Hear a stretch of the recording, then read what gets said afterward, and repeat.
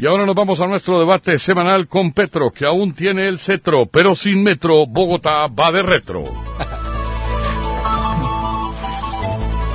Buenas tardes, bogotanos. Bienvenidos a este debate semanal sin metro, pero con Petro. Bogotá sigue de retro. Saludo al Tony Camo de la información de Bogotá. Señor Manolito Salazar, buenas tardes.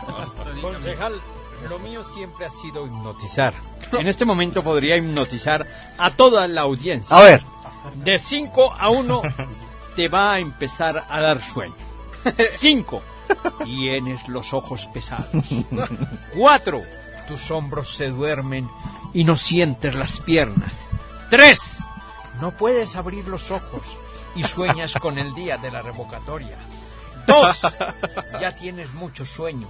El alcalde Petro sale de nuevo al balcón y la gente lo vitorea. 1. uno nada, volvamos a la realidad, Manolito. Saludamos al alcalde mayor de rendimiento menor, señor Petro. Buenas tardes. Eh, buenas tardes, concejalito. Eh, buenas tardes, Manolito.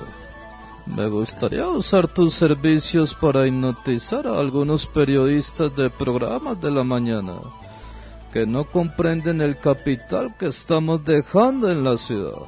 Con gusto, le paso mi tarifa, alcalde. Bueno, alcalde, entremos en materia. Alcalde, el servicio de Transmilenio es el reflejo de su administración. Colapsa todos los días. Y la semana pasada ya se salió de control. ¿A quién le va a echar la culpa de esta crisis de los articulados? ¿A César Rincón? ¿A Leslie Cali? ¿A quién, alcalde? Calma, calma, calma, concejalito. En la Bogotá humana solo hay espacio para respetar la ley y para dar argumentos. Lo de la semana pasada no era una manifestación por el mal servicio de Transmilenio.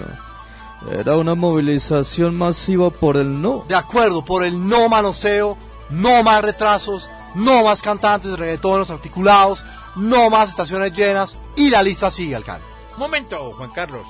Alcalde, entonces, ¿por qué el día de la crisis en Transmilenio salieron a comprar 180 buses? A ver, Esos buses se van a usar para movilizar a todos los simpatizantes al no, Manolito.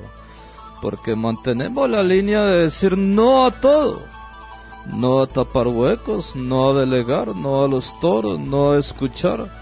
Y que quede claro que no estoy en campaña, yo siempre respetaré la ley.